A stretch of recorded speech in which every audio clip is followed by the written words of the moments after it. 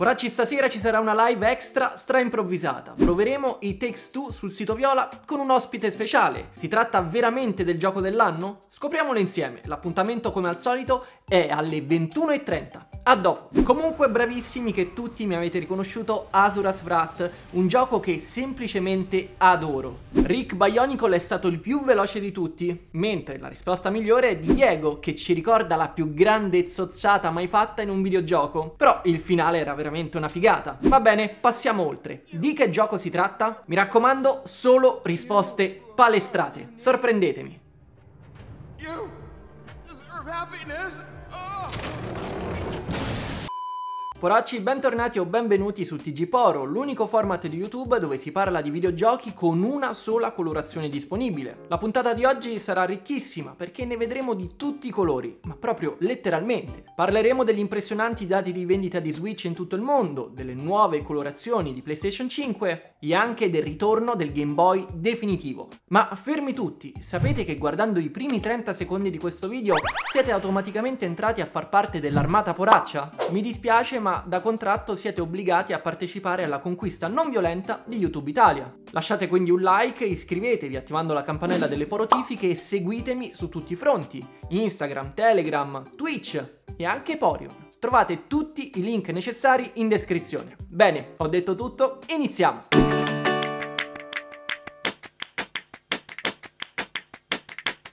Bene, partiamo con qualche notizia al volo, perché se siete rimasti un po' interdetti dall'annuncio del porting di Persona 4 Arena Ultimax per tutte le console, inclusa Switch, secondo il leaker Zippo potete ancora sperare in qualcosa di meglio da parte di Atlus. Festeggiamenti del 25 anniversario della serie infatti sono lontani dall'essere terminati e sono ancora tanti i progetti che devono essere annunciati come accompagnamento alle celebrazioni. Se del quinto capitolo abbiamo solo il seguito in salsa musu e del quarto il picchiaduro, Secondo Zippo, Atlus starebbe pensando alla remaster di Persona 3 Portable su più piattaforme, quindi presumibilmente anche Switch. Zippo ha anticipato il reveal di Persona 4 Arena, quindi l'ipotesi di questa remaster potrebbe non essere così campata in aria. Per chi non lo sapesse, si tratta della versione di Persona 3 uscita per PSP nel 2009 ed era di suo un porting espanso della versione PS2. Mi farebbe piacere riscoprire questo grande classico su Switch? I PlayStation Studios continuano ad espandersi. Dopo l'acquisizione di Housemark,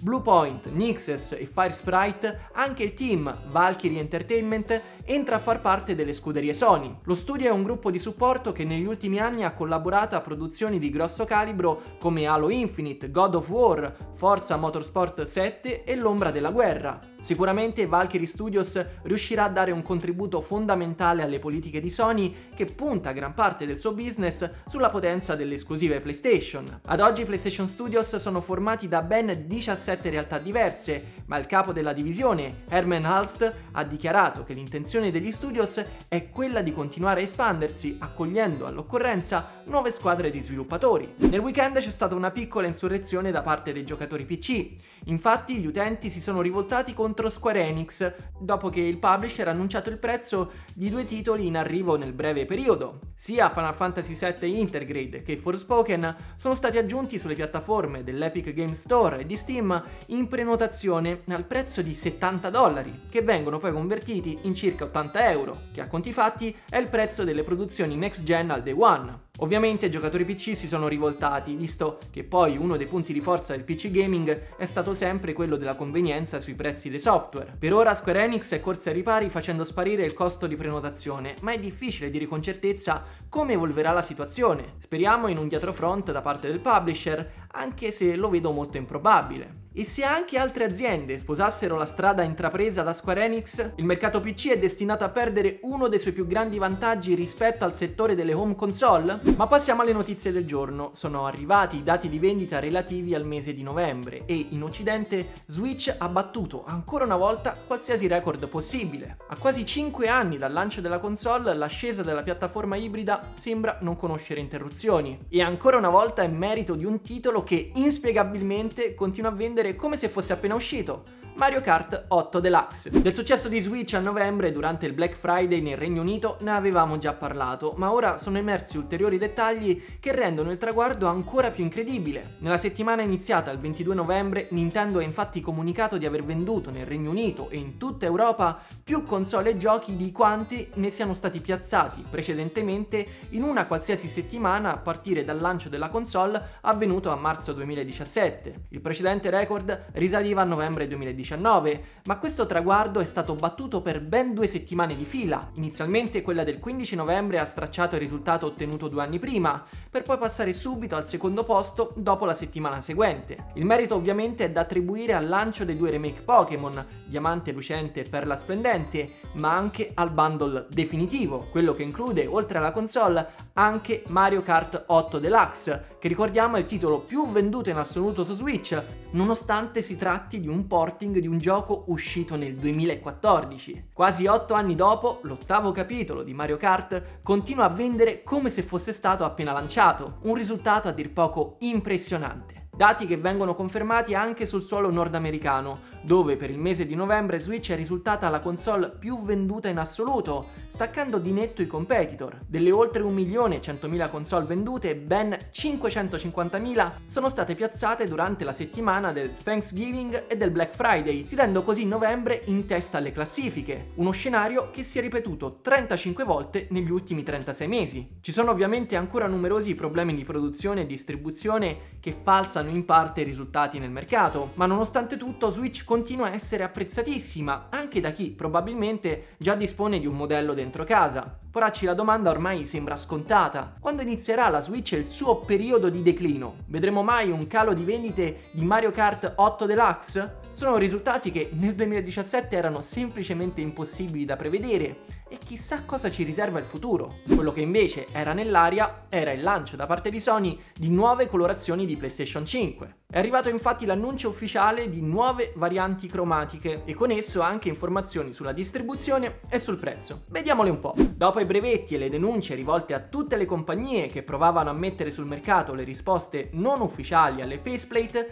sono arrivate anche le cover ufficiali targate Sony. Prima in realtà saranno lanciate tre varianti di DualSense, ovvero Nova Pink, Starlight Blue e Galactic Purple. E dai, siamo onesti, i primi due sono un chiaro rimando ai Joy-Con Neon, mentre il terzo è il viola GameCube. L'ispirazione è palese. Questi tre si uniscono alle colorazioni già disponibili di Midnight Black e Cosmic Red e nel 2022 arriveranno le rispettive cover per mettere in tinta console e controller. Non si tratta di console in edizione limitata, ma di semplici gusci rimovibili che a quanto pare verranno a costare circa 54 dollari mentre non è ancora dato sapere il prezzo in euro. I primi ad uscire saranno il nero e il rosso a partire da gennaio 2022, mentre gli altri colori seguiranno nella prima metà del 2022 e saranno ovviamente disponibili sia per PS5 con lettore che in versione digital. Ora, mentre per il DualSense penso che bene o male tutte le varianti siano molto interessanti nella loro particolarità, sulla console secondo me sono un po' un pugno nell'occhio, ma io parto prevenuto perché sono nella schiera di chi non apprezza il design in sé della console,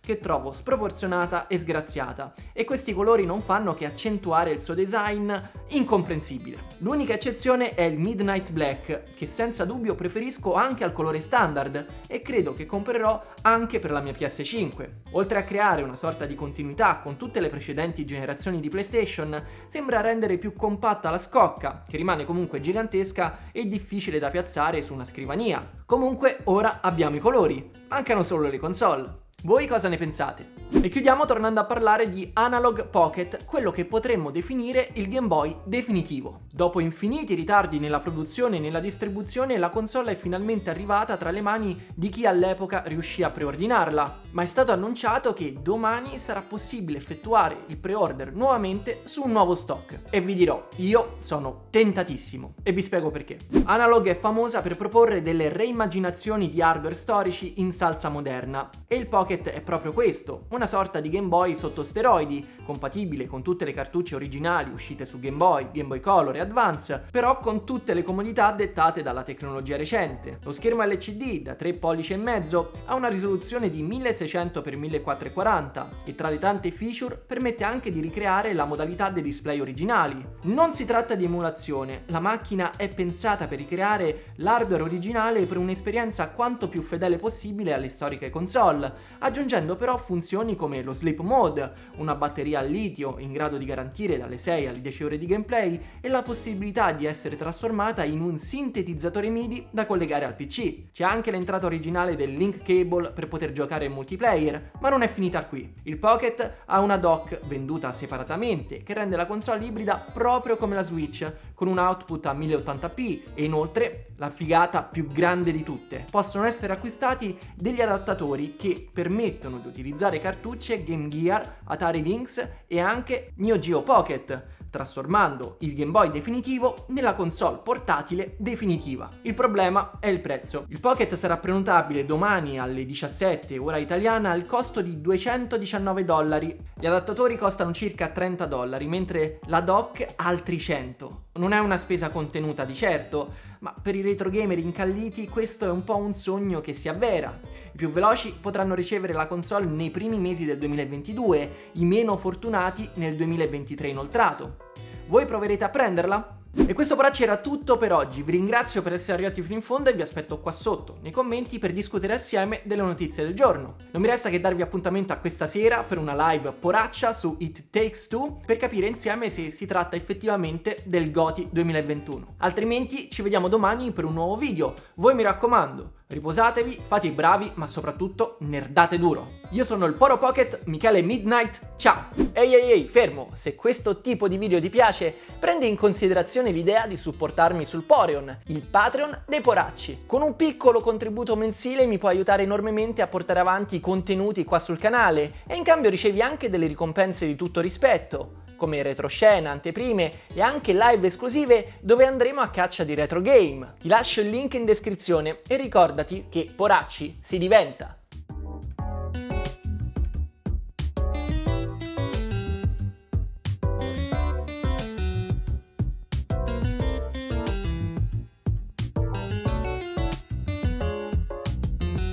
Secondo il leaker Zippo, potrei, potrei, potrei, potrei, potrei, potrei, potrei, potrei, potrei